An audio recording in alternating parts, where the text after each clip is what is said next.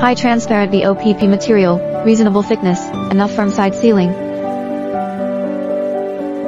Clear flat cellophane bag is very suit for packaging the small gifts, small food, special pack candy, flat top design easy to put the food into bag.